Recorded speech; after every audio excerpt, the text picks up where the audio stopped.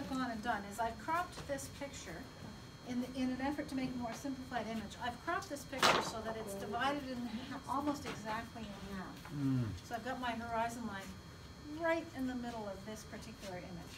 And as I look at that, I think, oops. Oops. oops.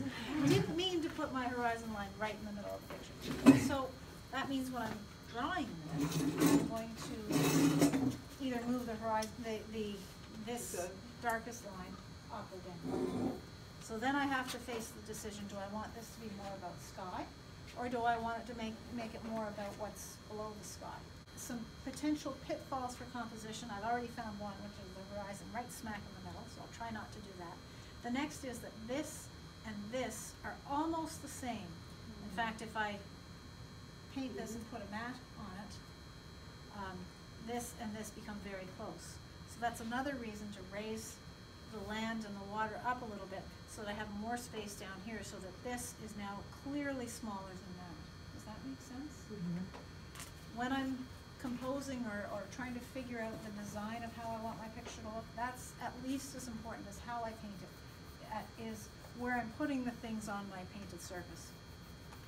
Trying to decide, how do I make this to be an interesting and engaging image that is convincing to people looking at it?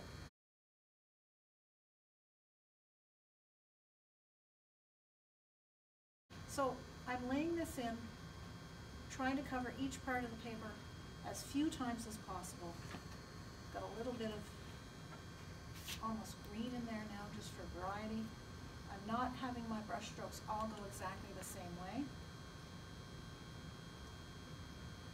And now I'm letting that move around. And do you see how I'm holding my brush and giving that clean water lots of places to run into? I'm softening the edges and just letting it trickle down.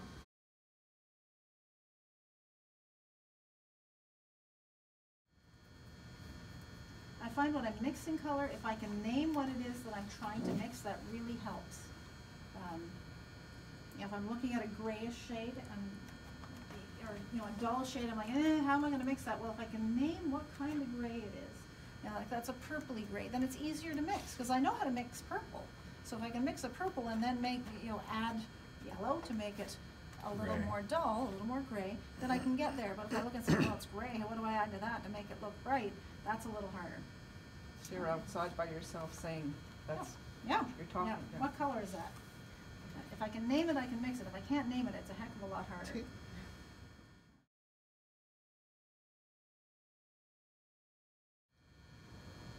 Yep, that didn't change. All right, so this is the, um, shaded underbelly of that bit of foam. And I don't know if you can notice, I'm using the side of my brush to lay the paint in, so I get more of a raggedy mark as opposed to a straight, very intentionally painted mark, and I'm putting more fluid in there so it'll move around. I'm gonna take that orangey bit and throw a little bit in and let it mix on the paper.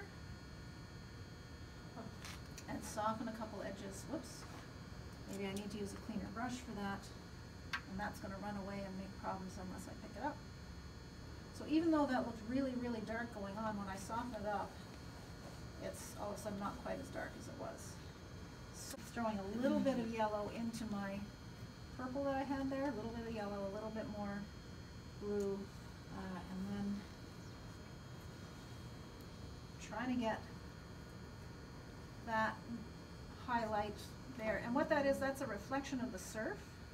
So I'm Mhm. trying to get that in there. And I come along with the green and mix that, that- so this is the face of the wave here. So I, you see, I didn't spend a lot of time on that. I want to get that in there fairly quickly. And now I'm coming in with the blue and letting that mix together. And gravity's helping here because water runs downhill. Oh, and what I'm doing here is I'm gradually darkening the, the color of the water as I come closer. And, whoops, there, it's time to stop with those. They're getting too big.